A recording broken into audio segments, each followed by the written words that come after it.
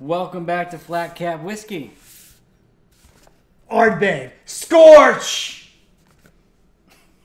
Isler's flavor breathing dragon. Eiler. Islay's flavor breathing dragon. For centuries, Islay folk have told a great many tales of heroes and dragons on the island.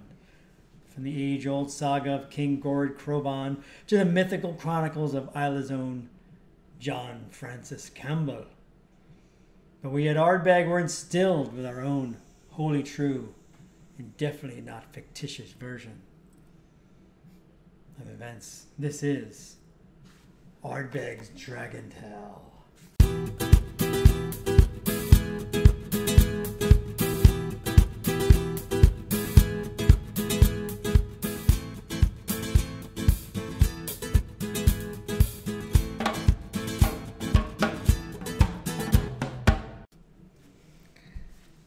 So here we go. Ardbeg Scorch. Brandon reached out, found somebody who had it, I did. It's not the committee release. spent many dollars, many pounds, many euros. So no, pounds, is- pounds, not euros, because they they escaped. we don't know the age. It is a. What is it? see the box. 40. It's not chilled filtered. It's a 46%. I think the committee release is like 51 point something percent. Um, it is X charred or heavily charred. Heavily Like, charred, heavily superly charred. charged. So think In a dark corner of the Dunnage Warehouse 3 lived a terrifying, intense, and awfully moody dragon. I think this might be the first time we do a neck. On the. Isle of Islay, no one even dared to speak its name. All right, ready? The distillery folk lived in fear of the Dunnage dragon, Can I crack it? Can I crack it open? for it was notorious for leaving no barrel unburnt and no stave unscorched. You may open the bottle. Should I release the dragon? Release the dragon, she said. All right. this is a, this, this is our neck pour. It's like the best pour. The neck pour. The neck pour. Whiskey Tribe did a video on the neck pour. I think the neck core, the, the neck core. No, Neck neck pour. neck, pour. Whoops. I'm gonna do a little bit. This is what happens when you do three videos in a row. Yes.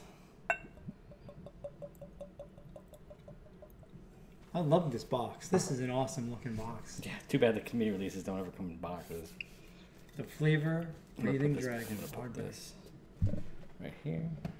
And I'll put this right here. Me see the bottle. I haven't held the bottle in my hand yet. So, what was the inspiration for you buying this bottle? Just seeing like the just extra heavily charged barrels, and you can see how that influences the whiskey. Limited edition, fiercely I charged don't- casks. I don't know what levels they typically are charred, but it's like a I guess like a medium char. I think usually, hmm where it's just like maybe about that much of the wood is actually charred. Right. So we're gonna see the influence of a, of a real of a the char All right. instead of more wood touching it. Okay. This is non-chill filter, natural color, correct? Yes. well, I, I don't know about natural color, but it probably is natural color. No, it's imported by Moet, Moe, Moe, and Hennessy. It's not. I think that's natural color. It probably is. Ardbeg's pretty good about that, right? I think so. It's it's Laphroaig. that kinda- Laphroaig that- Laphroaig Likes chill filters and colors their stuff a little bit, right? Yeah, they do. It's stupid. I don't like that. Should we go for the nose? Yeah, let's go for it. Mm. Ooh. Smells like a brand new bottle of Ardbeg. It smells deeper. 'Cause I've been drinking Ardbeg 10. I think it smells deeper. If that makes any sense. Definitely, it definitely has that Ardbeg. It has the Ardbeg. that yeah. Ardbeg smoke, peatiness. There's oak. I can smell the oak. Yeah, I got it. Maybe like a. It's looking like I always get like brown sugar or like. Um, like a caramel. What you looking at? Like pulling up? I'm gonna I'm gonna use my my tasting wheel. Oh, you're tasting. I'm gonna see if it helps me. The tasting wheel. Tasting wheel. People think it's cheating. It's not cheating. I think it's pretty good. So we don't. We already know it's smoky, right? Smoky. I got, I got, I got a little bit of rubber in there. Definitely a little bit of Band Aid. Not as Band Aidy as Laphroaig. Laphroaig's heavily Band Aid. I don't know. Kind of like a rubber cement. Do you get cloves? I think it said cloves in there. No, no, I've never smoked cloves.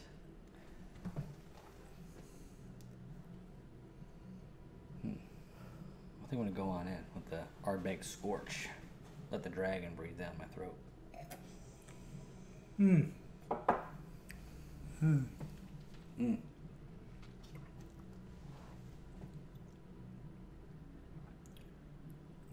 It tastes like a. That is unique. It tastes like I fucking licked a burning wood. Ooh, it's super sweet on the finish. Musty. It, I don't know. It's, I don't. I don't get The the, first thing that hit me was a musty, musty piece of wet wood.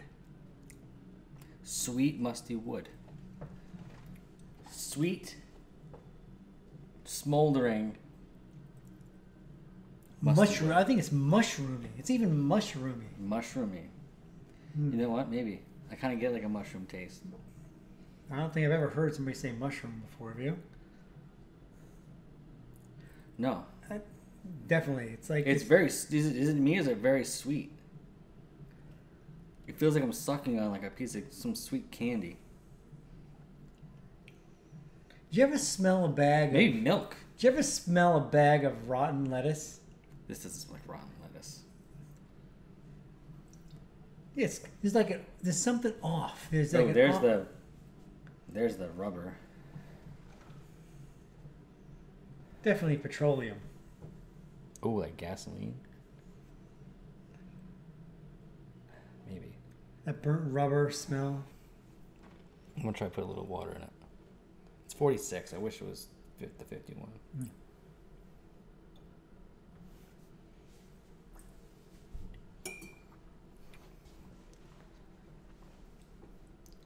I'm still getting the sweetness on my.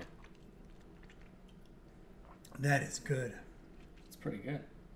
No, it is good. Yeah. It's not pretty good. It is good. The thing is, the smoke and the Shit. the smoke, This is. I think might be our big. the char, the char is not overpowering. No. Matter of fact, I think this tastes better than the Ardbeg 10. It's Yeah, milder like- than. It's definitely milder than the Wee Beastie. I don't know. We have to do a whole lineup and see. Ardbeg lineup. Here we go. Well, we have what? We have this. We have the Wee Beastie. We have the 10. We have the Uigeadail. Uigeadail. We have the Corryvreckan. No, I don't have the Corvac. I don't, or I don't have the Corvac or the An Oa. I'll buy the Corryvreckan tomorrow. You can tell me where it is. How much is it? We have to borrow some money. You can find it for like some some places you can find it cheaper, like eighty bucks. Yeah, but I'm gonna buy it. I'm not gonna have it shipped. No, I'm just saying. I don't know. I don't know how much the one in Beeville costs. I'll have to take a look. But they also have the An Oa. The An Oa's like forty bucks. Well, we have a bottle of An Oa here. I don't have An Oa. Yeah, we do. I do not have An Oa. I think we have An Oa. I know what I own. I have Uigeadail. I have a ten. I have the R bag, Mm-hmm. which I don't think I'm gonna open. Maybe I'll open the R bag at what? Maybe a hundred. Oh god, I don't think that's too low. That's too low, I think. No, you gotta keep that sealed. Here, You know when you drink that? When you get married. no, not that one. Wedding day. Your wedding party. Your groomsmen, that's who you share your Ardbeg with. The R. The Ardbeg. Hi, matey. I like brown sugar. There it is. I love the whole concept of marketing of Ardbeg because it sounds piratey. Ardbeg, right? This one's. It sounds fancy. very harsh, fierce. It is a fierce Scotch.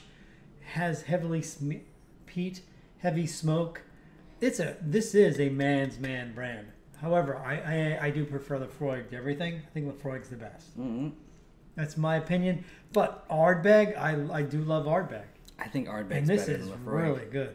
I don't know. I haven't really had much of Ardbeg because you don't let me drink yours. Ooh, dude. I think I just got a little bit of chocolate milk. Chocolate milk, a little like a like a milk taste, like a like a like a skim milk. skim milk. Yeah. Yeah, right. No. Yeah, that's what it tastes like. I don't know what. Uh, yeah, it's right here. It's like on the back of the side of my tongue. Was this an A1 commercial? Gets you right here and right here. I'm not even joking. I'm. I swear to God, I've never heard anybody say anything about it, getting a. it tastes like milky milk. taste. It tastes like skim milk. well, I don't drink milk. Either do I. Not even that much. I hate milk. I guess you could say almond milk, but whatever. Like a rotten milk? No, it's like like a fresh milk. It's just like No.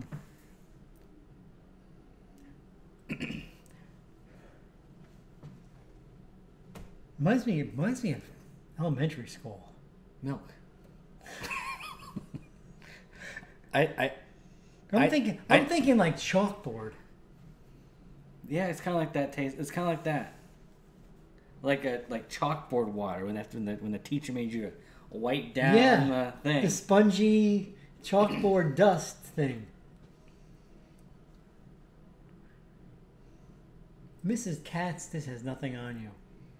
She's my second grade teacher. Mr. Leonard. Mr. Leonhard. I never had Mr. Leonhard. It's not hard. It's Leonard.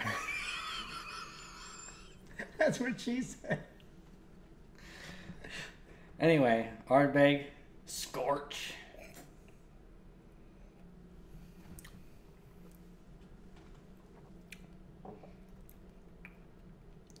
That's really good. I think that might be better than the Uigeadail. But I think the That Uigeadail is- has a sherry sherryness to it. I think. What do you So think the age is on this? We know it's minimum three years because it's It's Scotch. minimum three years. I think it's more than a. I think it's more than ten. It's probably. I think it's roughly a ten, with mixed with something else, because the the the the, the wee beasties. It just you can really tell it's young. Like the peatiness is just. Oh, it just hits you in the face. but maybe It's like a punch from Apollo. maybe Creed. that's what what having more longer time in a in the char does. I don't know. This is like There's Scotch mist. And that one, I think. But anyway, I, matured in our most heavily charred ex bourbon cask. So there's going to be some sweetness, right? Fragrant patchouli I don't know what that is. But dude, interfaces with bold notes of quenched steel and saddle soap, billowy clouds of sweet smoke. Definitely, definitely. Charred oak permeate the palate as briarwood, sage, and pine wisp their way to the fore. So puff out your chest and breathe out a fiery spirit. so this, for this is good. This is really good. scoring, I would probably say this is a Wow. nine. A my malt mark? A my malt mark. I'm saying a nine out of ten. yeah, my malt mark. 9 out of 10. I'm going to give it like a 9.2. Ooh, you're gonna give it that point too high, huh? Mm-hmm. Hardback. Just make it cheaper, please. Anyway, Unbelievable. Uh, Listen, we've tasted what?